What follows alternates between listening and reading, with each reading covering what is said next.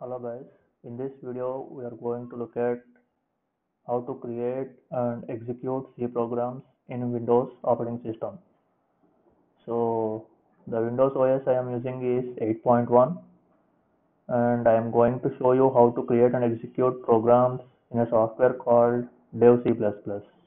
So I, I already downloaded, installed and opened Dev C++. You can also do the same it is a free software. Actually it is an IDE uh, for creating and executing C++ as well as C programs. So some background about what is an IDE IDE stands for integrated development environment.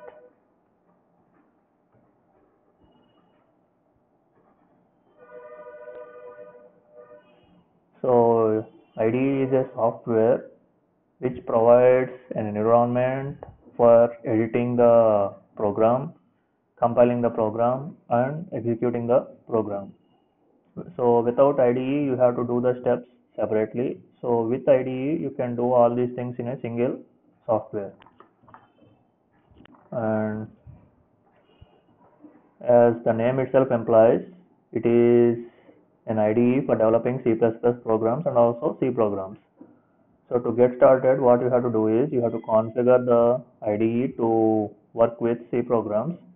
So to do that you have to go for tools menu and select compiler options and in the, the dialog box select settings in the settings select code generation tab and at the bottom you can see there is language standard. In this language standard select any of the C versions like you can select C90 or C99 or GNU C90 or GNU C99 by default it will be C++ you have to change this to any of the C versions.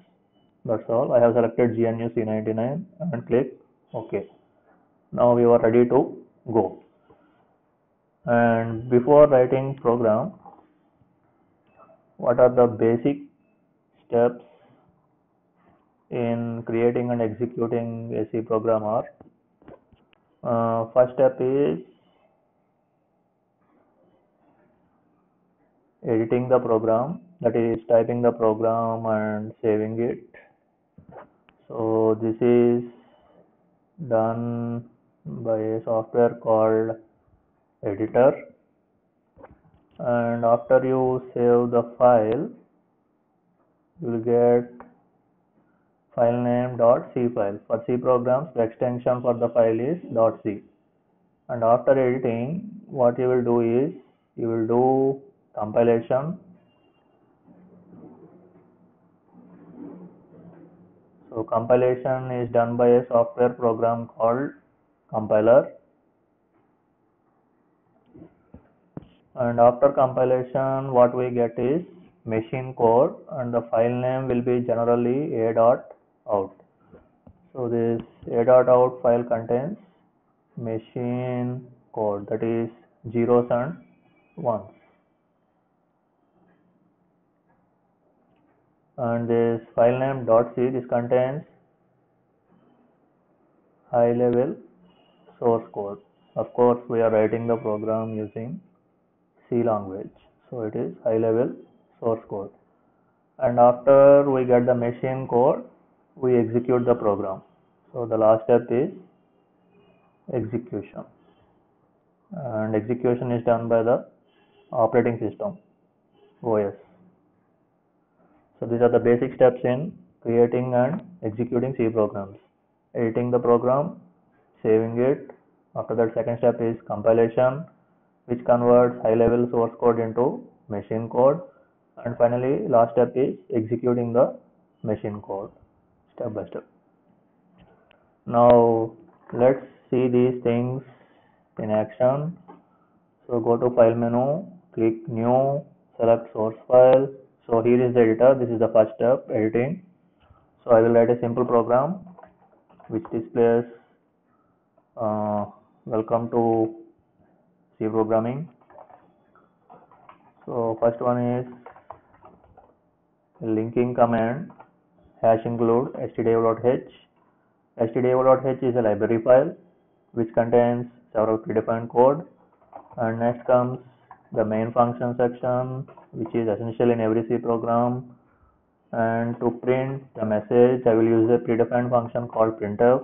The message I want to display is welcome to C programming